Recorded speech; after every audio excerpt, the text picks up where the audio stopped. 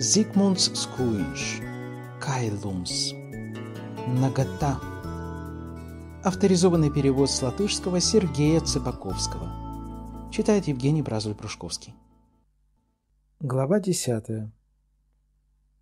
Послышались стоны и вздохи. Кто-то пытался задобрить музыкантов жидкими хлопками, однако танец не повторили, и публика волной, с ворчанием и шелестом, покатилась обратно к скамейкам. Камита, гордо подняв голову, озирала веранду победным взором. Он шел за ней следом, возбужденный и довольный. Наиболее ретивые все еще хлопали в ладоши. Так вам и надо, ротозеи несчастные, прошляпили танец, в следующий раз будете умнее. Камита держала его под руку. Отдельные парочки в ожидании танца остались посреди площадки, другие расхаживали взад и вперед, толкались, путались под ногами. «Камита, приветик!» «А, это ты! Ой, подружка, что это у тебя? Ну-ка, подойди поближе!» «В чем дело? Ты же видишь, я не одна!» «Да подойди, не бойся, ничего с тобой не случится! К свету подойди поближе!» Лохматая головка, чем-то похожая на пион. Где он ее видел?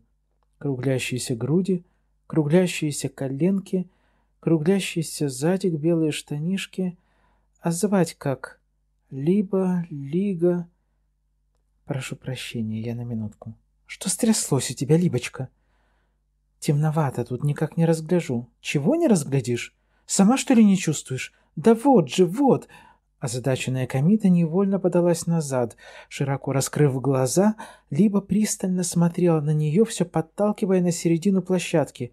«В чем дело? Говори, не придуривайся». «Да вот же, неужто ты не чувствуешь?»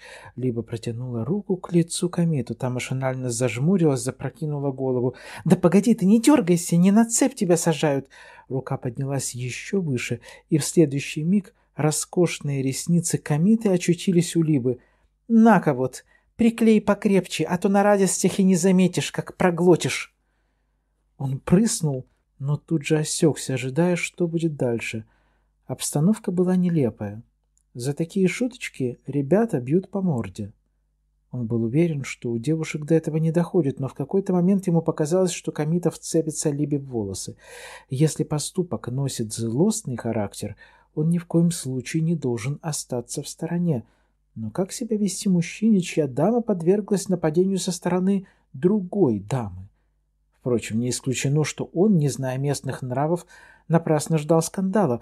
А что если ресницы в самом деле оказались плохо приклеенными и могли потеряться, что, к счастью, не ускользнуло от наблюдательного взгляда Либы? И Камита, должно быть, заколебалась. Она стояла, будто окаменев. Ее прежнего мечтательного настроения как не бывало. Теперь Камита не казалась такой очаровательной. Ему почему-то было и стыдно за нее, и жаль ее. Но вот на лице той опять заиграла улыбка. Забрав у Либы ресницы, Камита обняла ее за шею и что-то шепнула на ухо. Лицо у Либы застыло, совсем как изображение на экране, когда останавливается кадр — «Нет!» — вскрикнула она. «Нет!» «Да, мышка, да, милая, никогда!» «Да, да!» Либо отпихнула от себя Камиту и убежала. Глянув ей вслед, Камита проговорила с нескрываемым презрением. «Недомерка!» «Что случилось?» «Ничего страшного. Кого криком не возьмешь, тому следует шепнуть на ухо. Запомните мой совет.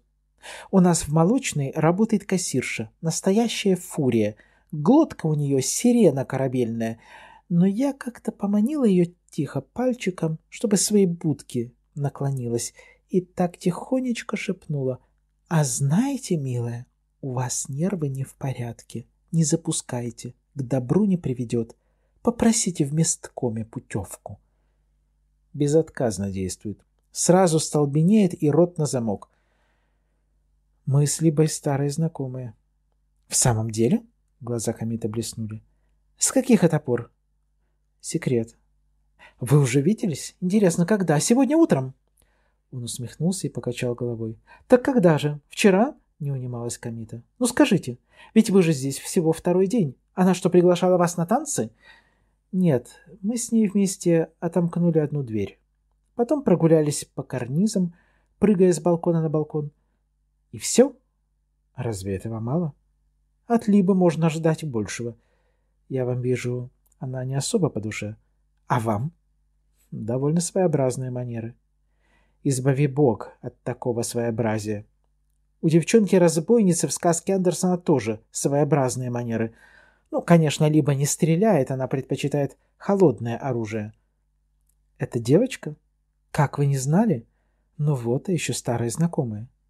Она сидела в тюрьме за попытку убить человека. Одного парня на тот свет чуть не отправила. И о своем ребенке совершенно не заботится. Говорят, его воспитывает бабушка где-то в Вилянах или в Араклянах. И ребенок? Ну да. Впрочем, что ребенок? Вы бы лучше на мать посмотрели. Так, а теперь вольно. Можете покурить. Камита раскрыла ладонь с искусственными ресницами. Мне очень жаль, но я должна ненадолго покинуть ваше приятное общество. Не могу ли я быть чем-нибудь полезен? О чем вы говорите? Магия требует одиночества. Одиночество — скучная вещь. Ничего, оставляю вам свою заместительницу. Берута, присмотри, чтобы наш поэт не сник от мировой скорби. Заодно, разумеется, пригляди, чтобы не наделал глупостей. Слышишь? Пригрозив ей пальцем, Камита затерялась в толпе. Берута, потупив глаза, подошла поближе. Опять заиграли. «Надеюсь, вы сможете присматривать за мной и в танце?» Берута покраснела, не в силах скрыть радость. Я плохо танцую. Ее откровенная робость была приятным облегчением. Я тоже. Но мы же не на конкурсе. Берута сказала правду. Тянуть и подталкивать ее действительно было делом нелегким. Казалось, она о том только и думает, как бы держаться от него на дистанции. Шаг у нее был деревянный, она то и дело смотрела себе под ноги, ужасно старалась, робела и переживала. Мы с Камитой только что говорили о Либе. Оказывается, она у вас знаменитость. Я удивляюсь, как эта Либа пришла. Обычно она на танцы не ходит.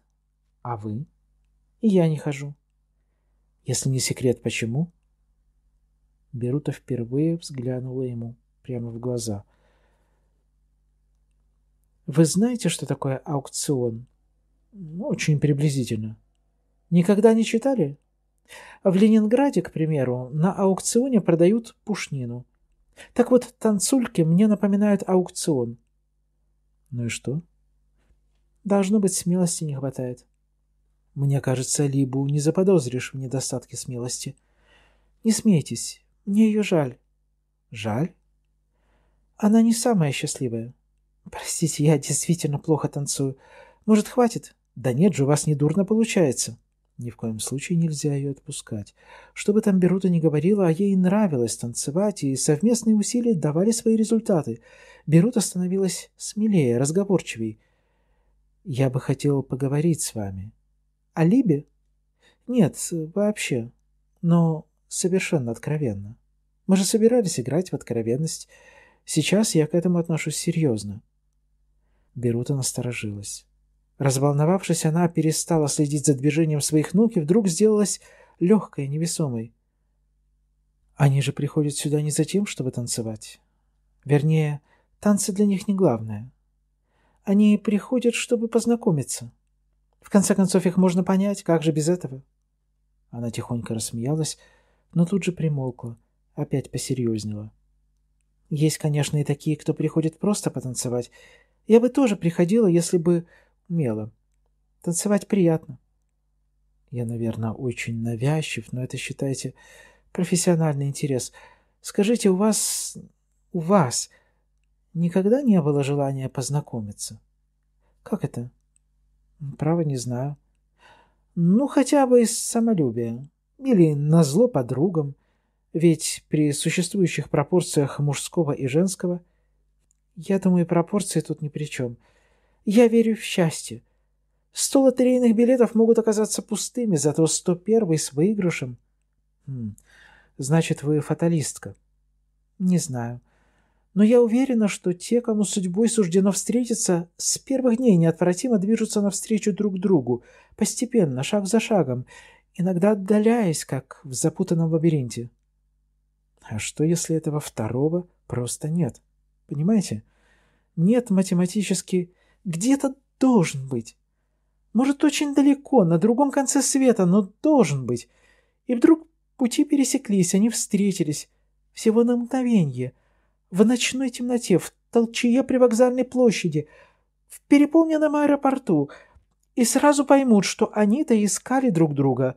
Разве так не бывает? Он, конечно, чего-то ждал от этого разговора, и потому был напряжен и насторожен, как человек, проверяющий электрический контакт, когда толком еще не уверен, не получится ли замыкание. Однако результат был в высшей степени неожиданным. Робкая Берута на глазах преображалась в пламенную проповедницу, убежденную в своей правоте, готовую бороться, защищать свои взгляды, доказывать. Поистине разительная перемена. Ее речь лилась свободно, на лице торжественное, почти самозабвенное выражение. Ошеломленный он остановился. «Разве так не бывает?» — повторила она. «Иногда бывает. Чаще все-таки в фильмах, в романах». «Да нет же! За правдой жизни не угнаться никакой фантазии!» И она с увлечением принялась рассказывать о какой-то своей подруге и ее поразительной судьбе — из этого разговора он не слышал ни слова, захваченный одной единственной мыслью. А что, если письма писала она? Ничего невозможного тут нет. Сквозь ее романтические бредни иногда прорывались нотки, казавшиеся ему знакомыми. Конечно, прямых доказательств или фактов в его распоряжении пока не было, но, судя по манере, выражению, образу мыслей, он без труда мог представить Беруту сочинительницей писем. Отдельные черты совпадали полностью, повышенная чувствительность, с какой Берута говорила о других, ну хотя бы о той же Либе, ее внезапная пылкость, переходящая в робость, едва речь заходила о ней самой. В письмах столько места отводилось красотам природы, и разве не Берута предложила поездку на грибные куручи. А совсем недавно, когда пили вино, она ни с того ни сего вдруг стала восторгаться облаками, небом. По тону и душевному настроению письма в полной мере соответствовали чувствительной и робкой натуре Беруты. А если еще добавить ту подкупающую искренность, с какой она признавалась в своих недостатках, в самом деле – Почему бы ею не могла быть Берута? Однако мысль эта в нем вызвала что-то похожее на разочарование.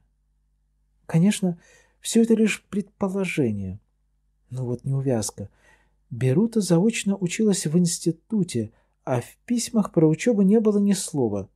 Для полной ясности неплохо было бы познакомиться с почерком Беруты.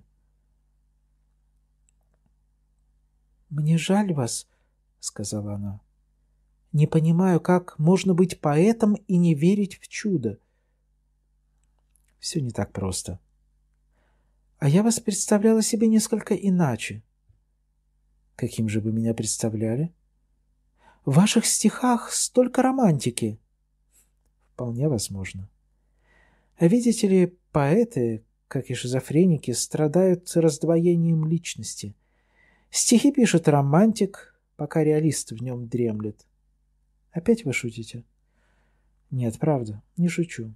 И мне известно из достоверных источников, что и вы стихи пишете. Берута густо покраснела. Кто вам сказал? У вас, случайно, нет с собой каких-нибудь стихов? Стихов нет. Жаль. Хотелось бы взглянуть. Вы думаете, стоит? Не сомневаюсь. Но я ведь пишу для себя. Мы могли бы с вами заключить тайный союз под девизом «Другим ни слова». Что вы на это скажете? Я подумаю. Вид у нее был ошарашенный, будто она только что очнулась и пыталась сообразить, что ей во сне померещилось, а что она слышала наяву. От нахлынувших мыслей Лицо ее омрачилось, но губы раскрывались в светлой улыбке, и сквозь настороженную недоверчивость наружу ломились восторг и радость. Можно было считать, что тайный союз заключен.